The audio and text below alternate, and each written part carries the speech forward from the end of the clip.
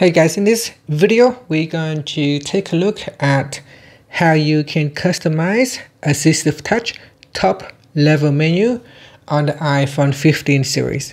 First, let's go back to the home screen by swiping up at the bottom of the screen. And from the home screen, tap on settings.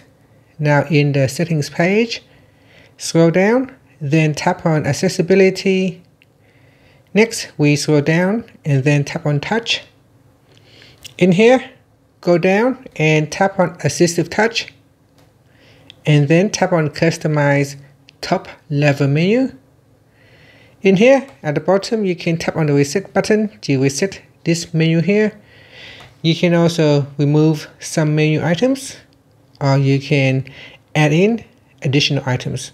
So when you add in additional items, you can see it has a plus icon.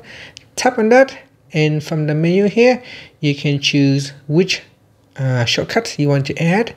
So for system, you got action button, analytics, app switcher, camera.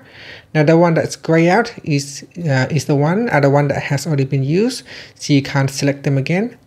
Here you could double tap, twirl, hold and drag, home, uh, lock rotation and so on. So let's say you want to select one of the functions in here. I'm going to select home and then tap on done. So home has been assigned to the top level.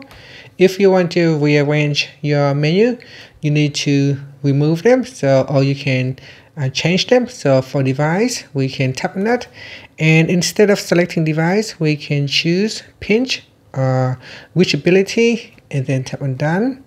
So we have now replaced reachability, uh, the, uh, the previous item with uh, ability?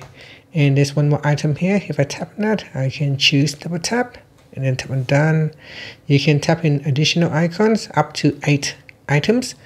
And here I can choose um, to uh, say volume up. And then here I can choose volume down.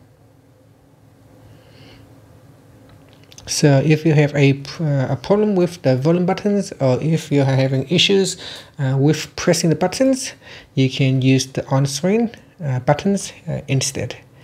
And that's it. So now if we swipe up uh, to go back to the home screen, actually we'll go back into the menu here and turn on Assistive Touch and you can see at the top level menu we got uh, volume up, volume down, reachability, we can bring the screen down and uh, we got uh, custom. So going to custom there will be additional uh, items in here which you can uh, uh, use.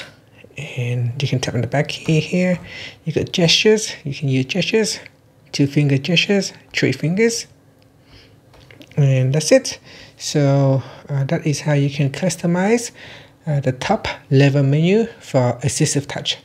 And that's it. Thank you for watching this video Please like and subscribe to my channel for more videos.